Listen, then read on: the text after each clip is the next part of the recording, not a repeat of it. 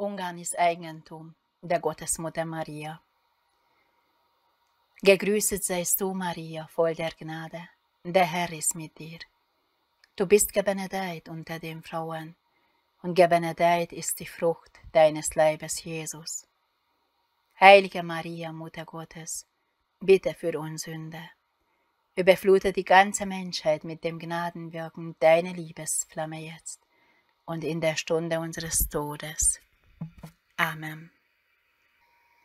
Ich habe den Herrn gesagt und ich habe ihn gebeten und ich habe ihm gesagt, dass der Platz, dieses Heiligtum, klein ist und nur ein vorläufiger, kurzzeitiger Platz. Aber die Gottesmutter hat den Platz glücklich mit Freude angenommen. Trotz Vorläufigkeit und Kurzzeitigkeit. Sie hat den Platz angenommen und sie hat es gesagt, sagt dem Pater, der Platz ist nicht klein. Es gibt nicht so kleiner Platz wo Himmel und Erde zusammen Platz haben könnte. Es ist genügend Platz für alle, für die Engel des Himmels und für die Heiligen auch. Weil der Gottessohn das weiß und er regelt alles.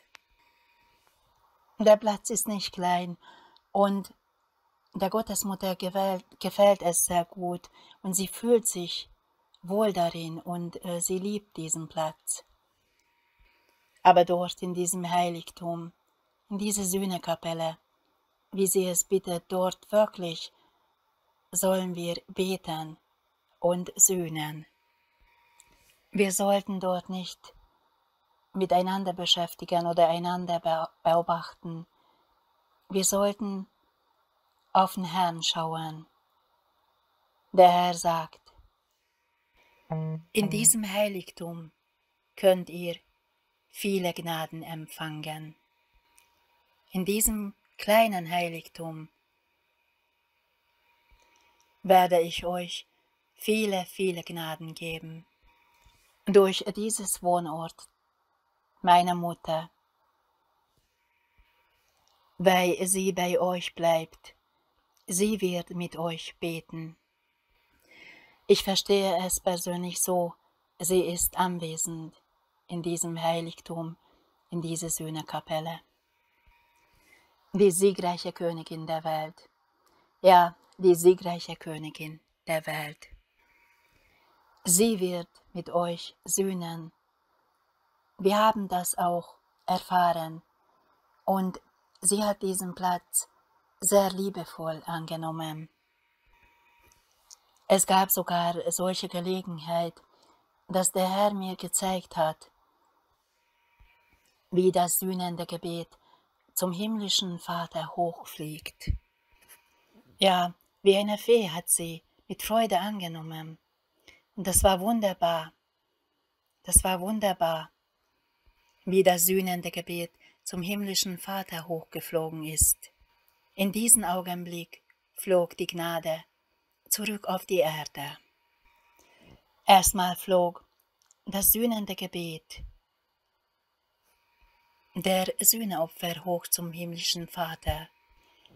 Als der himmlische Vater dies übernommen hatte, in diesem Augenblick flog auf die Erde zurück als Rückkehr die Gnade zurück.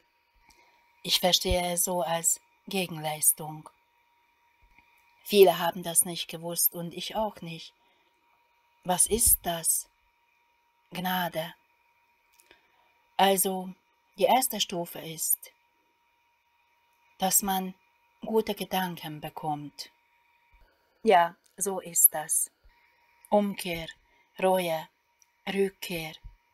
Sie sind große Gnaden, ja. Liebe Schwester Nathalie, sagt Pater Regöze Istvan, unser Plan ist, wenn Gott das auch so möchte. Ich kann leider nicht hören, was der Plan vom Pater Regöze war. Es ist ausgeschnitten von der Aufnahme. Der Pater fragt jetzt Schwester Nathalie, wer hat diese Bilder gemalt? Wer hat die siegreiche Königin Bilder gemalt? Eine Schwester. Dieses Bild hat Schwester Lidetta gemalt, aber sie ist schon gestorben. Und Schwoi, Bischof, hat es anerkannt. Herr Bischof Schwoi. Das Bild hat Freigabeerlaubnis von diesem Bischof. Aus der Vision von Schwester Nathalie. Also im Himmel hat die Gottesmutter die Trumpfkrone als Auszeichnung, als siegreiche Königin angenommen, aber unbemerkt. In der Vision, so unbemerkt, hat sie die Trumpfkrone auch zu ihren Füßen runtergetan, runtergeholt. Von ihrem Kopf zu ihren Füßen. Ich verstehe es so, die Trumpfkrone hat Schwester Nathalie Damm an den Füßen bei der siegreichen Königin der Welt gesehen, wie sie das gemacht hat, die siegreiche Königin der Welt, wie sie die Trumpfkrone zu ihren eigenen Füßen getan hat. Das ist solche mystische Sache, das kann man gar nicht erzählen, darüber kann man gar nicht erzählen.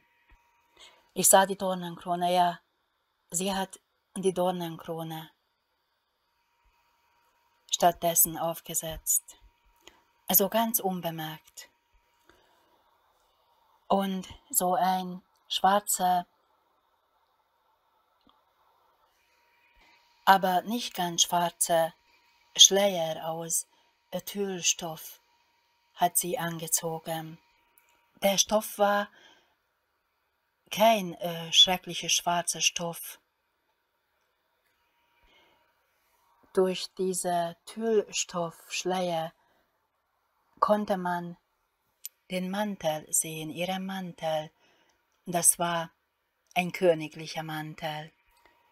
Sie hat den Mantel und Schleier angezogen und danach, als sie dies angenommen hat, wurde ihr auch das Schicksal der Welt überreicht, übergeben. Also wir wissen es, Sie wissen es aus den Schriften, Herr Pater, als der himmlische Vater gesprochen hat. Wegen der Menge der vielen Sünden muss die Welt untergehen. Es gibt keine andere Möglichkeit mehr. Wo der himmlische Vater das gesprochen hat, dann hat der Herr Jesus den himmlischen Vater darum gebeten, mein Vater, sei barmherzig, sei gerecht, strafe bitte nicht. Hier sühnen auch gewisse Bösen, aber mein Vater, sei barmherzig, bitte strafe nicht, hat der Herr Jesus den himmlischen Vater gebeten. Jesus reichte seine Hand. Jesus reichte seine barmherzige Hand uns, um uns zu helfen, und die Jungfrau Maria ebenso. Daraufhin drückte die gerechte Hand des himmlischen Vaters die barmherzige Hand des Herrn Jesus zurück. Das bedeutet, es gibt keine Gnade, es gibt keine Barmherzigkeit. Das war sehr traurig. Ja, das war sehr ergreifend. Und dann, als ob der Herr Jesus mit seinem barmherzigen Antlitz, als ob er an die Seite geschaut hätte. Ich weiß es nicht mehr, wie das passiert ist, weil ich sag's ja, das sind Sachen, die in Gott passieren. Der Herr Jesus äh, steht da, dort und sagt, meine Mutter, komm, hilf mir bitte. Die gerechte Hand meines Vaters zurückhalten, damit die Welt noch nicht noch nicht untergehen soll. Die Jungfrau Maria, die Mutter der Barmherzigkeit, hob ihre unbefleckte Hand hoch. Ich verstehe es so, sie versuchte die gerechte Hand des himmlischen Vaters zurückzuhalten. Und Schwester Nathalie sagt, und daraufhin, das war wunderbar. Es fehlt leider, wie daraufhin der himmlische Vater geantwortet hat, aber ich denke, daraufhin hat der himmlische Vater seine gerechte Hand zurückgezogen. Es ist wieder ausgeschnitten, diese Aufnahme, leider. Stattdessen beten jetzt viele, Gegrüßet seist du, Maria, voll der Gnade, der Herr ist mit mir. Du bist gebenedeit unter den Frauen, und gebenedeit ist die Frucht deines Leibes, Jesus. Heilige Maria, Mutter Gottes, bitte für uns arme Sünde, überflute die ganze Menschheit mit dem Gnadenwirken deiner Liebesflamme jetzt und in der Stunde unseres Todes. Amen. Gegrüßet seist du, Maria, voll der Gnade, der Herr ist mit dir.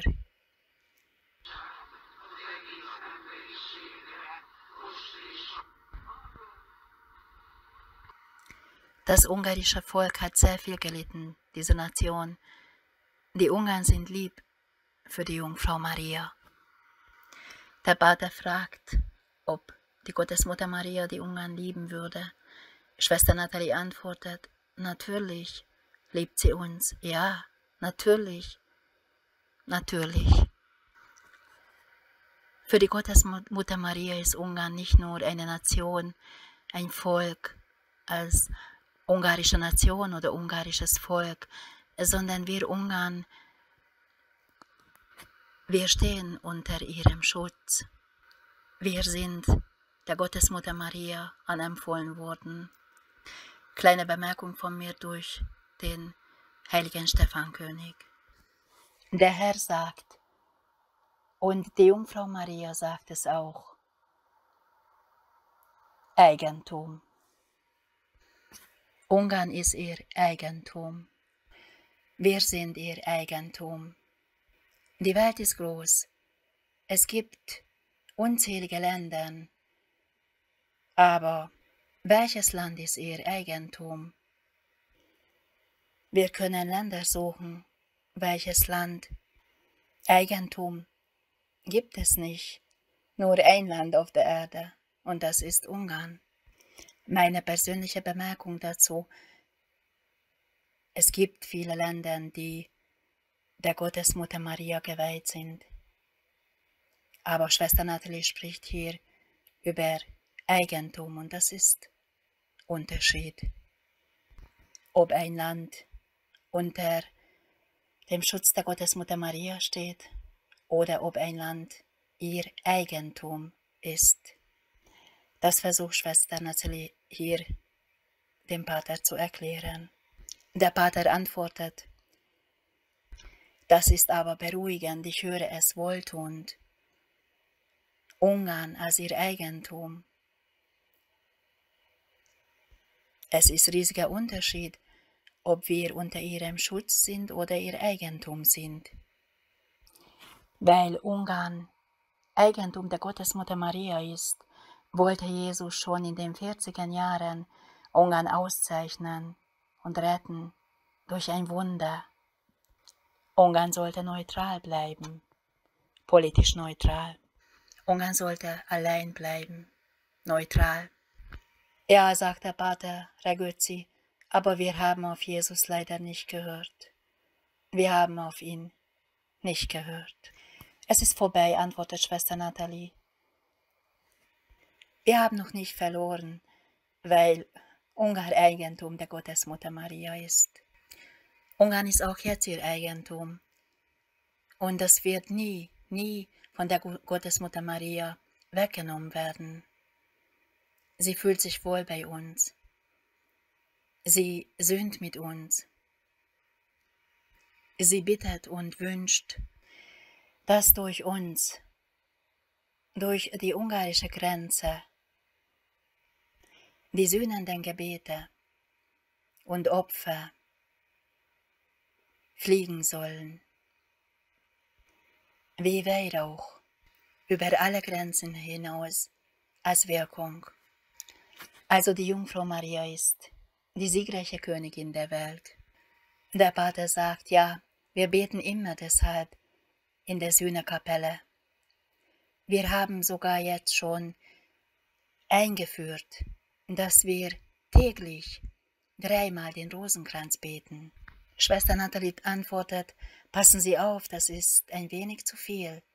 Ich weiß es nicht, wo die Gottesmutter Maria das gebeten hat, aber das ist viel. Weniger ist mehr. Man sollte daran denken, dass das Volk, dass die armen Leute, die armen Frauen zu Hause wartet auf sie, kochen, die Kinder, die Enkelkinder. Deshalb sollte man hier aufpassen. Wenn man andächtig einen Rosenkranz betet, ein Rosenkranz bringt außergewöhnliche Gnaden.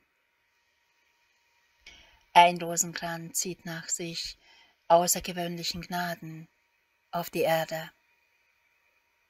Durch uns, durch Ungarn, durch diese Sühnekapelle, auf die ganze Welt. Das ist viel. Es ist auch was anderes, wenn wir persönlich miteinander drei Rosenkränze beten. Zu Hause. Hier endet die Aufnahme. Gelobt sei Jesus Christus in Ewigkeit. Amen.